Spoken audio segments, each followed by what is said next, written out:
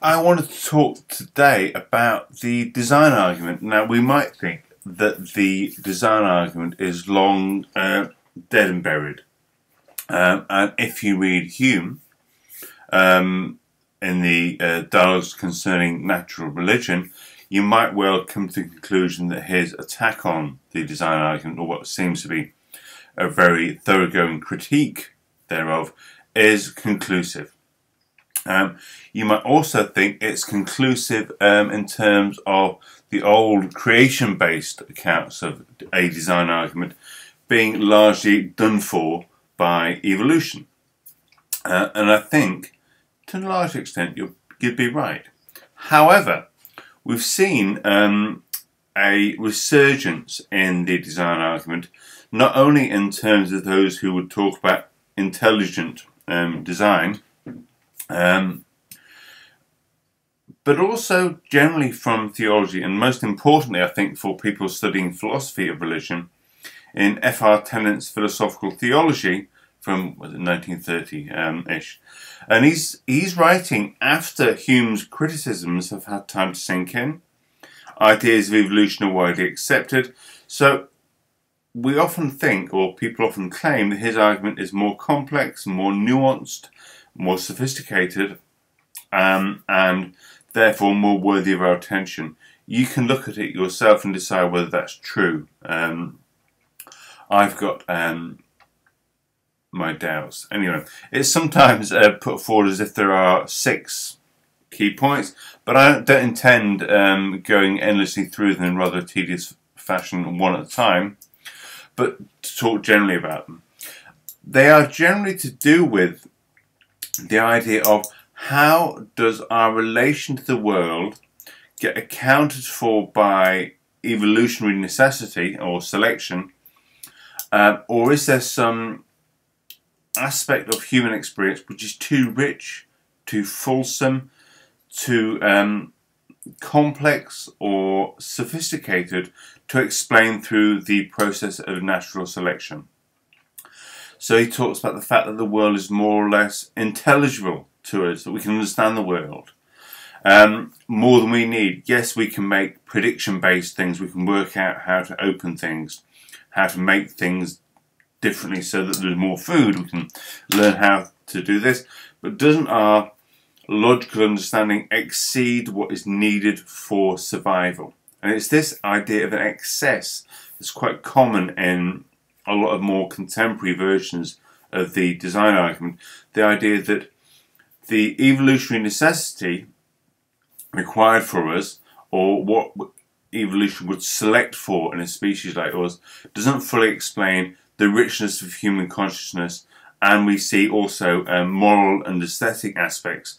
Um, the fact that I can I can find something so beautiful that I cry, apparently. Um, and that doesn't seem to be selected for at all will be explained in this version of it. So there needs something beyond biological need to explain it, suggesting a beyond, therefore that being seen as being a prop for theism. So we, we get that aspect. We get a whole bunch of different ways in which there seems to be a biological excess. Also, you see in and generally in contemporary teleological uh, arguments a shift to accommodate Darwinian evolution, an attempt to shift a concentration on um, evolution being taken into account, I guess. I guess you could call it this. The teleologist, can't say that at all. The teleologist, the person interested in the design argument, can set yourself. Um, the person proposing the design argument shifts from special design in the product of the process, us, the world around us, to special design or directivity in the process itself. Now that might sound like gobbledygook, especially as I started out not being able to say keywords, but I'll repeat it because it's kind of really important, I think.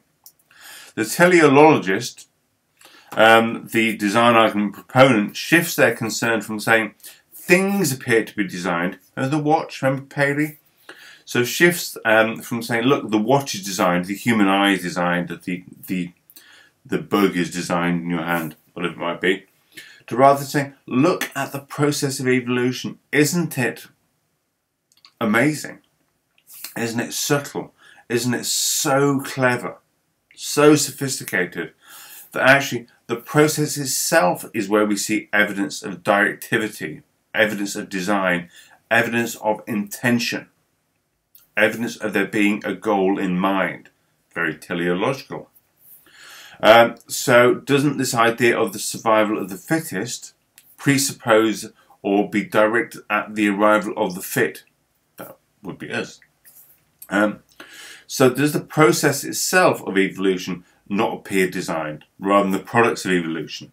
So, that's a big shift for the um, design argument, but one you encounter um, in modern versions of it. That there's a big shift from being the product that's designed to the process that produces the product being purpose driven, intent driven, and things of this sort. Um, one of the other things you often encounter, and I briefly want to cover um, because I think it's important, uh, is the idea that it's incredibly unlikely that we would ever exist. The fitness our world has to produce and sustain life. Um, such a huge number of conditions, unique conditions, need to come together to allow life. The odds against life are staggering. You know, we could have been wiped out. Human life, all life, evolving life over huge time spans could have been wiped out at all sorts of points in our um, history, and might be, of course, particularly if we carry on with our own self-destructive urges, happen yet.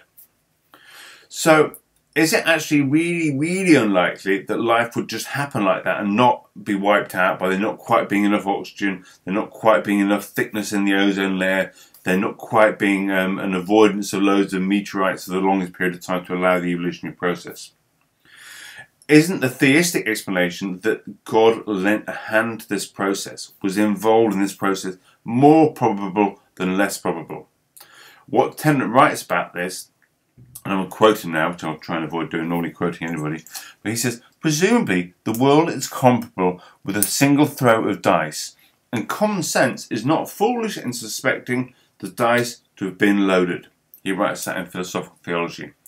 Um, so he says, if you are to equate human life to rolling a thousand dice and getting six on all of them, actually the, the odds against human life occurring might be even greater. But say, let's say, say a thousand dice, rolling them all, and getting six on all of them. That does seem unlikely. It does seem improbable. You might think, yeah, the chances of there being human life here do seem um, very stacked against us. Um, and if you were to roll dice a thousand times um, and then have them uh, all come on six, that would be unlikely. They surely they must have been loaded. What Tennant ignores here, and I'm sure some people listening have got this already, is some basic facts about probability. There is not only one planet in the solar system, in the universe.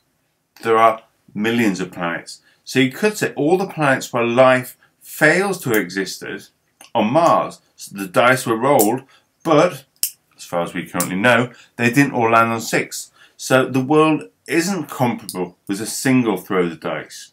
Each planet represents, for example, a throw of the dice. So if you roll those dice a million times, out of the million times you roll them, the chances of them all coming up on the same result suddenly change quite a lot.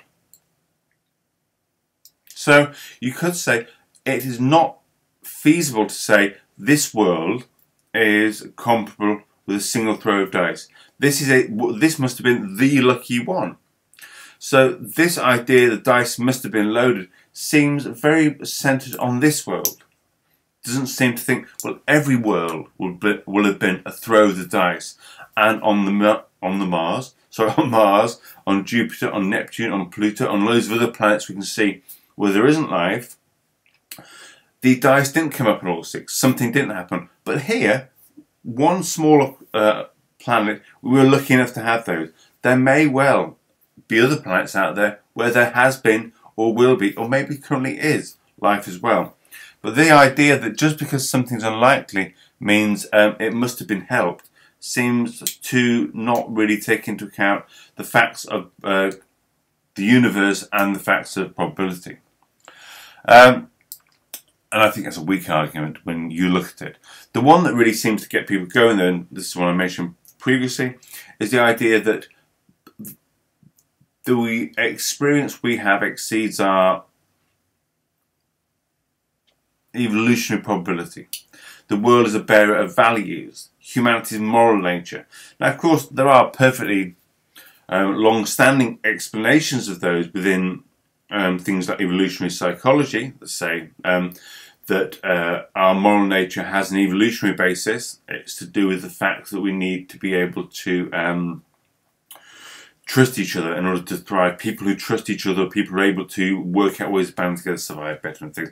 So there are evolutionary explanations that compete quite healthily with um, theological explanations, and there are other explanations that are have an evolutionary payoff, I guess, but don't aren't evolutionary psychology in the way we understand it. And they will say these may be side effects of evolution they haven't been positively selected for. They are accident, accidental results of other factors. So we have big brains that are very, very good at social things because of other factors to do with trust and to do with the social nature of apes and humans.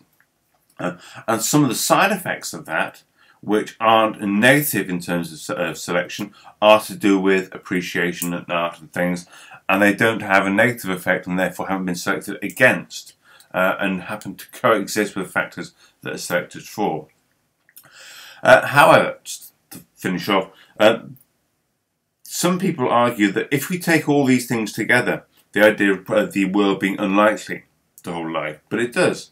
The idea of us not needing to appreciate our morality um, to kind of make sense of the world in a philosophical way, but we do. Um, the fact that we appreciate nature, and we don't need to, but we do appreciate it and sit and look at a beautiful sunset or whatever. Uh, these all taken together um, make the design argument suddenly much more attractive. Um, that bears some weight if you say it quickly, but I think if you take each condition or each aspect of it bit by bit by bit and unpick them, this idea that cumulatively they have a kind of directive force which is more persuasive um, starts, I think, very, very quickly to disintegrate uh, and ultimately fall apart. I've said elsewhere in a separate video why I think all proofs that the, the uh, existence of God actually misunderstand what religion is about anyway, uh, and why faith is. Um, in conflict with the idea of proving the existence of God anyway. But I think we, these arguments are so widely encountered and heard that we need to actually, as it were, get involved with them and try and disentangle whether or not they make any kind of persuasive sense at all. Thank you.